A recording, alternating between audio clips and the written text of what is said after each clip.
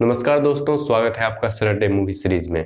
आज उन फ़िल्मों की बात करेंगे, जो मनी हाइस्ट की ही तरह आपके दिमाग को चकराने की ताकत रखती है।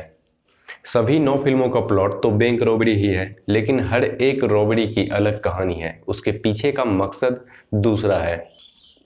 उसे चोरी करने की प्लानिंग फिर उसे एग्जीक्यूट करना, फिर पुलिस और चोर का जो खेल है, वो हर फ़िल्म में आपको काफ़ी रोचक लगेगा। तो उस नौ ज़बरदस्त हाइस्ट मूवी की काउंटडाउन शुरू करने से पहले आप इस चैनल को सब्सक्राइब करें। यहाँ पर हर शनिवार अलग अलग कैटेगरी के जो भी अच्छी फ़िल्में हैं, उस पर मैं वीडियो बनाता रहता हूँ।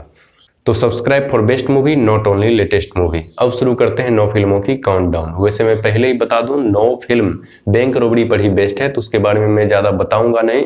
सभी की आई एम देखकर ही आपको पता चल जाएगी सभी फ़िल्में कितनी ज़बरदस्त है।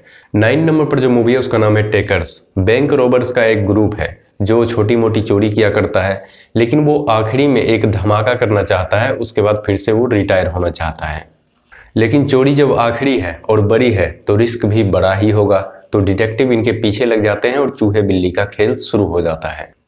एट नंबर पर जो मूवी है, उसका नाम है सेट ईट ऑफ़ इस तरह की बैंक रोबड़ी की जो मूवी है, वो मर्दों पर ज़्यादातर बनती है। लेकिन ये फ़िल्म फीमेल पर बेस्ड है। किस तरह से चार गरीब लड़की, वो भी ब्लैक जिसे अपना फ्यूचर कुछ नज़र नहीं आ रहा था, वो बैंक रोबरी करते हैं। लेकिन उसके बाद जो उनके बीच लड़ाइयाँ होती है, उनके बीच मिसअंडरस्टैंडिंग होती है, उससे वो किस तरह से निकल पाती है, या फिर पुलिस ही इनको पकड़ लेती है? वो देखना आपके लिए काफ़ी इंटरेस्टिंग होगा, क्योंकि ये एक अलग ही कॉन्सेप्ट पर बनी मूवी है। सेवन नंबर पर जो मूवी है, उसका नाम है the heist of the century. यह अर्जेंटीना के इतिहास की सबसे बड़ी चोरी पर बेस्ड है।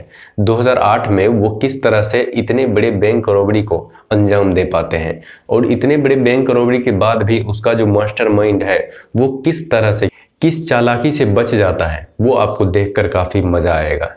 सिक्स नंबर पर जो मूवी है, उसका नाम है द बैंक जॉब नाम तो बैंक जॉब है, लेकिन बैंक जॉब का मतलब है बैंक में जो भी चीज़ें हैं बैंक में जो भी लोग जॉब कर रहे हैं, उसके जॉब को खत्म करना लंदन बैंकर स्ट्रीट पर भयंकर चोरी की प्लानिंग सिर्फ़ पैसे नहीं, जो भी वहाँ पे बॉक्सेज हैं और जो भी वहाँ पर ज्वेलरी है, सभी की चोरी करने की प्लानिंग चल रही है।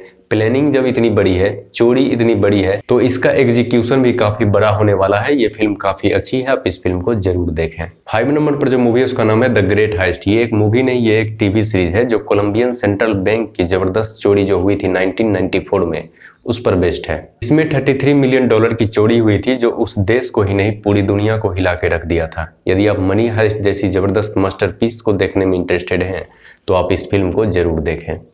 फोर नंबर पर जो मूवी है, उसका नाम है द टाउन। इस फ़िल्म का प्लॉट काफ़ी रोचक है। चोरी तो बैंक में ही हुई है, लेकिन एक जगह चोरी दिल में भी हुई है।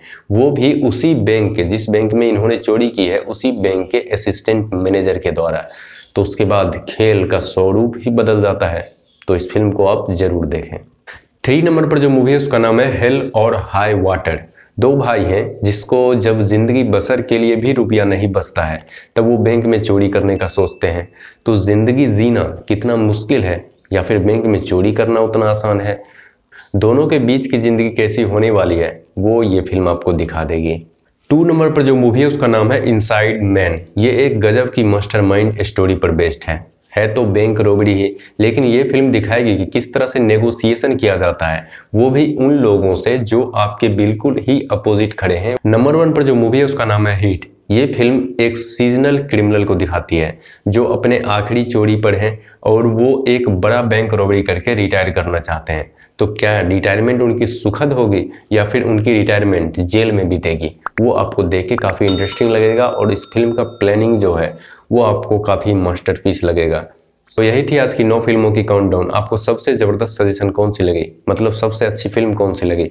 उसके बारे में आप कमेंट में ज़रूर बताएँ। आप अगली वीडियो किस कैटेगरी की मूवी लिस्ट पर चाहते हैं, उसके बारे में भी आप कमेंट में बता सकते हैं। किसी अच्छी मूवी का रिव्यू चाहिए या फिर किसी ज़बरदस्त मूवी का एक्सप्लेनेशन उसके बारे में भी आप कमेंट में ज़रूर बताएँ।